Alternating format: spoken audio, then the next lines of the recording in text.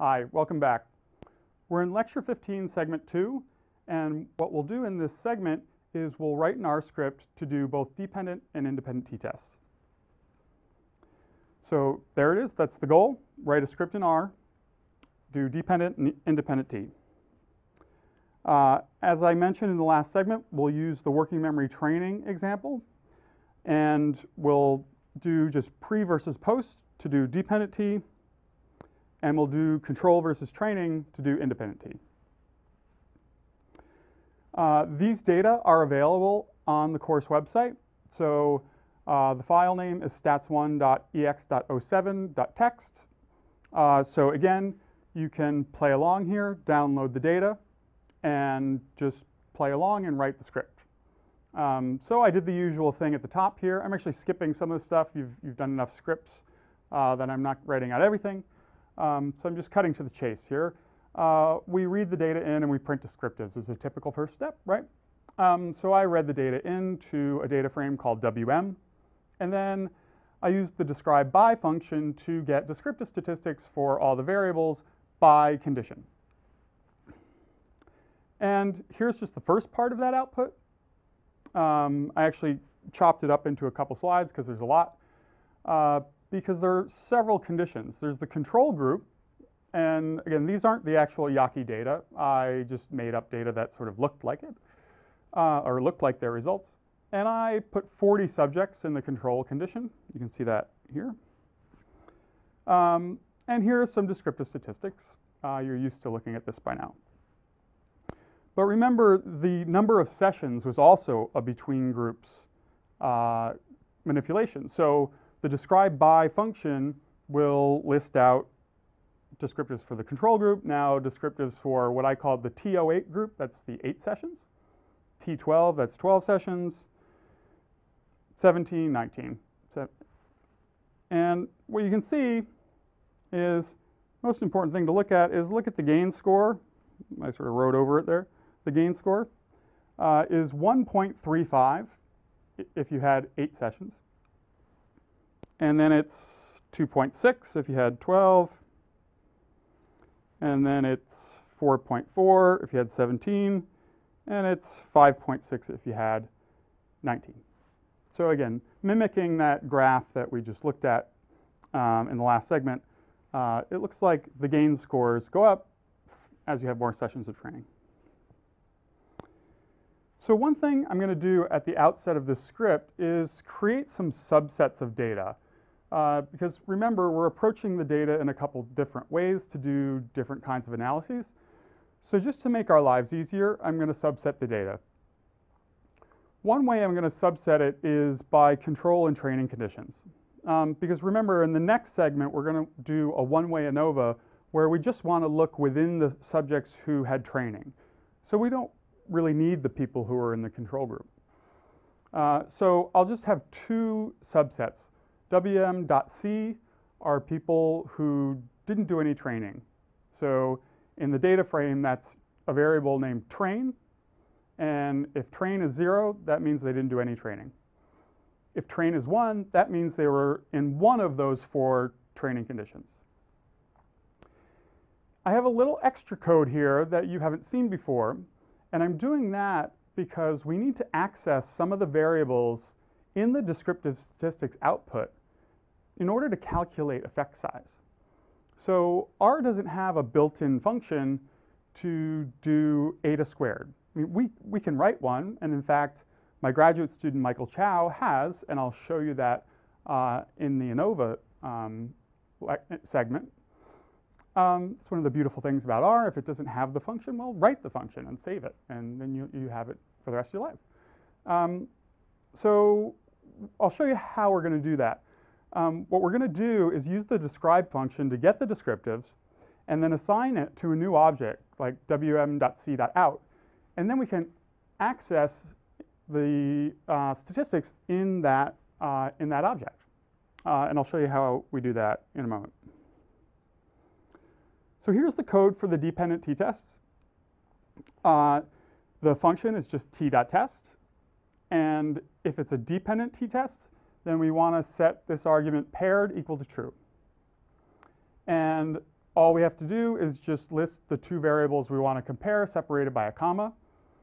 So first I'm going to look in the control condition, I'm going to look at the pre-post. So that's wm.c dollar sign to access the variable name pre versus post. And then I do the same thing for the training condition. Remember, whenever we do this sort of null hypothesis significance test, we should just always have an estimate of effect size right there with it. So I did that here. Here's the Cohen's d.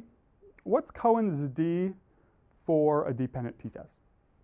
This is in a live class. I would pause and wait for somebody to give me the answer. Um, so what's Cohen's d for the dependent t-test? Well, it's just the mean difference over the standard error of the difference. And there's some funky looking code here, but remember wmc.out from the previous slide, that contains the descriptive statistics for that control condition. So we can sort of go into that table. Again, think back to your matrix algebra lecture. That's the fourth row, third column. We can pick that out, and that is the mean on the gain score for the control condition. And then I divide that by the standard deviation, which is in the fourth row, fourth column of that output, which you'll see in a moment. Same thing for the training. So here's the output. Uh, so I, I ran that script, and here's the first t-test for the control condition. And what we see is, again, the scientific notation here. It's a really low p-value. It's a high t-value. Uh, so the mean difference is almost 2. Why is it negative? Well, that's really arbitrary. It's because I put pre first and then post. If I flip them around, then it would be positive 9. Doesn't really matter. Uh, the p-value would still be the same. Notice the degrees of freedom is 39 because there were 40 subjects in the control condition. What this is showing us, beyond just the, the R script and the code and the numbers, what does this mean? Well, this means that people in the control group exhibited a practice effect just on the test. They did better on the post-test probably because they had exposure to the test before when they took the pretest. That's why have, it's necessary to have the control group in there because people just demonstrate practice effects on tests. And they're showing a pretty big practice effect in this example. This is a little larger than what Jaeggi et al. observed. Um, again, I just made up the data. Here's the dependent t-test for the training group. And what you see is the training group demonstrated a bigger difference from pre to post. Uh, so they're up at like three and a half versus only like two for the, uh, for the control group. And that's reflected in the t-value, of course, and in the p-value, of course. Now, degrees of freedom 79 because there were 80 subjects in the training conditions altogether because there are four different training conditions and I put 20 in each of them. So there are 80 altogether. So that's significant. And it looks bigger, it looks like a bigger training effect, right, than the control group. But we would have to do an independent t-test to compare that to the gain for the control group. And that's what we'll do next. Um, oh, I forgot. Here's the Cohen's d. Uh, we're not done yet. So here's the output for the Cohen's d. Um, and again, these are, these are a little larger than what Jaeggi et al. observed. I think I didn't throw in enough uh, within groups variance in my simulation. Um, but it, it, comes close enough, right? Um, so the, the Cohen's d for the control group is 1.4. Again, it's pretty big. But the more important point is that the Cohen's d for the training group is larger. So it looks like there's a training effect going on. But again, let's compare control versus training. So that's what we do in the independent t-test. Because in the independent t-test, if you are assigned to control, then you're not doing training. If you're assigned to training, you're not doing control. Two independent samples. So the way to do that, the, the syntax is a little different. It's still the t sorry, t dot test function. Uh, then it's open paren, dependent variable, tilde, independent variable. So our dependent variable is the gain score. Our independent variable is training. Did they do training or did they not do training? I set this last part, var.equal equals true, um, because I did check it out. I, I did a Levene's test, which we'll cover in the ANOVA segment, uh, and the, the variances are equivalent. Uh, we want to know that because that could influence the outcome. I don't want to sort of get us bogged down in that here in t-tests. We'll cover that in more detail in the next segment when we do an ANOVA. And then here's the syntax for, or sorry, the code for Cohen's d. Remember, you have to get the standard error of the difference, um, and that requires doing pooled variance or pooled standard deviation.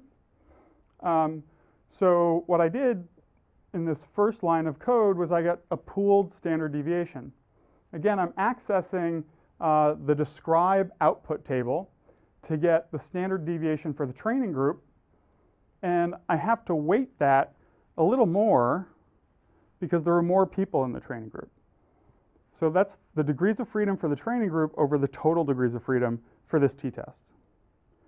And here, that's the degrees of freedom for the control group over the total degrees of freedom for this t-test. I just want to weight this pooled standard deviation. Then my Cohen's d, comparing control and training, that's what my uh, coding means there. So d.ct is this Cohen's d comparing control and training. It's just the mean for the training condition. That's wm.t.out 43 the mean for the control condition divided by the pooled standard deviation. Here's what it looks like, the output. So it says two sample t-tests. That's independent t-tests. And the t-value is about 4, so that's going to be significant. Sure, it's pretty low p-value. And again, degrees of freedom is 118 because there were 40 subjects in the control condition and 80 in the training condition. So it's 40 minus 1 plus 80 minus 1, so 118. Um, if we look down here, we see uh, Cohen's d of about 0.79 or say 0.8. So again, I think that's a little larger than what Jaeggi et al. reported, uh, but not too much larger. So this replicates, uh, replicates, I made up the data, um, but it simulates uh, the Jaeggi et al. results. Again, what does all this mean together? It means that the difference in the gain scores between training and control is significant. And it's a pretty large effect size. Cohen's d of 0.8 is pretty respectable. Uh, so that's evidence that this training regimen works. Again, to recap, here are those results. What we did, when we did the dependent test, we did the dependent test on the control group. What we were looking at is the, the unfilled dots, so the control group. We were comparing this point to that point. That's what we did when we did the dependent t-test on control. Then we did the dependent t-test on training, so we compared that point to that point. Those were both significant, but it looked like the effect size was larger in the training group. So what we did next was we looked at the gain, so we looked at the difference for training versus control, essentially this piece, and lo and behold, that too is significant. Again, suggesting that working memory training does enhance intelligence.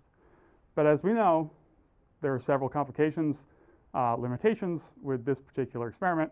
Uh, so as I said, the jury's still out. But that illustrates how to do t-tests uh, using this working memory training example.